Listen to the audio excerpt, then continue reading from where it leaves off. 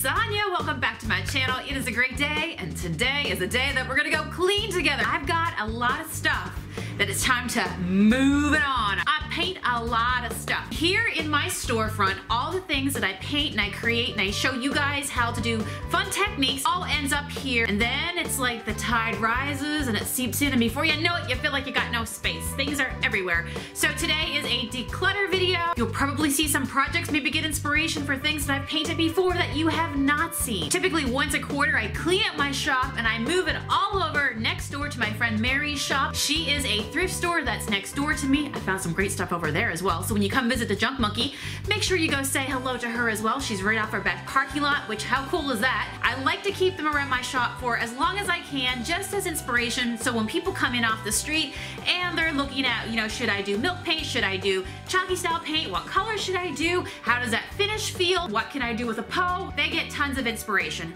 But it's time to weed it out. It's time to start fresh. It's time to reset everything because we got lots of stuff to paint and we need to make space for new things. Yeah, you wanna see my mountain of stuff? Like my mountain of stuff. Speaking of mountain of stuff, this is waiting for a pickup, but this is early in the day when I'm filming this, so it's gonna continue on throughout the afternoon. So if you can imagine, we do a lot of shipping right here. Junk Monkey at work. How's your day going, Adam? It's going wonderful. Woohoo! Look at him pack that glaze. Everything is hand packed.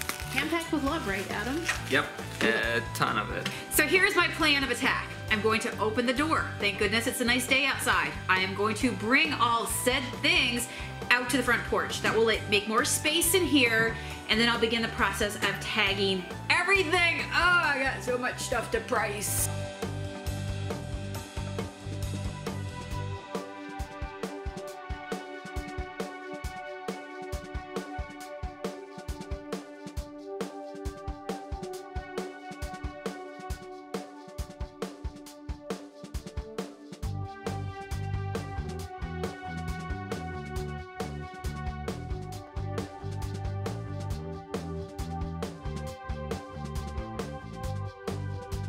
Who remembers when I painted the old woman and we did the wooden distressed frame?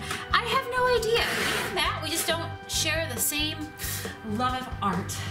Big eyes and what he calls creepy things sometimes. My traffic jam outside is causing some problems for the mail carrier today because, yeah. This is what happens with your happy mail. Labor of love, let me just tell you that. I've created an obstacle you. That's okay. See, leave my foot's in the way. Because everything is sat for so long in here, and I'm always sanding, there's always dust. And this is a small place, so it gets a lot of use. A lot of use. I move everything outside. I'm taking a can of my Monkey Shine, and I'm just kind of buffing over everything. Just kind of like, you know, clean it off, make it nice and spiffy and shiny. I just did that load outside. All that stuff is all shined up and polished up and ready to go on to the next store floor to be sold. Everybody's gotten lots of inspiration from it at, from it at this point. I've got more stuff to paint and create and I gotta make space. I gotta make space. One thing I've learned uh, after being a painter for over a decade is to not get attached to furniture to understand that furniture is a dime a dozen. You can find it anywhere. And you have to move it along, right? We paint to be able to bring joy to other people. And so I want other people to be able to get joy from that. I've had a ton of people already just coming up on my storefront steps um, already picking over my junk, my treasures. When we gut out things, we also make room for more. Right now, I am going to begin the process of putting tags on everything. I'm going to sit here with my Sharpie, my scissors, and some sticky tags. Hey, you! What's your name? Dusty. Dusty, oh my gosh, look at you. Does that sunshine feel good? Yeah? Oh, your fur feels warm, huh?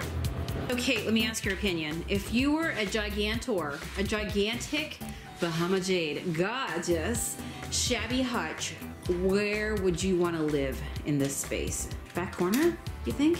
Should we put a hutch on either side and maybe have the, uh, yeah, like one on each side? And put, yeah, I like that. Okay, let's make it happen. And clean out all the clutter and take down the Christmas tree. Ta-da! Oh, the power of TV and video, right? Well, I just wish it magically appeared there, but thank you to the help of Matt and Adam with their big strong muscles. I love it. Every time I like paint something in Bahama Jade, it just reminds me how much I love it. So I'm just gonna clean this guy up. He's a little bit dusty down there. And then using use him for storage. I think this is where I'm kind of going to end my day here today, right here. And then you guys are going to have to come back and this week, over the next few days, I will do a shop tour and take you all the way around my store and show you how I display things and just kind of give you a walkabout, right? Wouldn't that be fun? It would be. It would be? What are you You working just, on? You just have to. I'm working on a Canada order actually. Nice! This is all going to Canada. Woohoo! One person's order to give you an idea. How many cans of paint do we have in here? One, two, three, four, 27. five, 20. You know that off the top of your head. Holy moly. The front has been all cleaned off. Oh my gosh, we got through that big, big load. I've got some more as well to get over to her tomorrow. Living the creative life and couldn't be happier. Thank you guys for subscribing to my channel. Make sure you tune in again tomorrow for another great video. Please give this video a thumbs up. Leave me a comment below. Was this a fun video? Would you like me to make more of these kinds of behind the scenes videos with you guys? Because I'd love to do that if you're game for it. So let me know below. All right, see you guys tomorrow. Bye.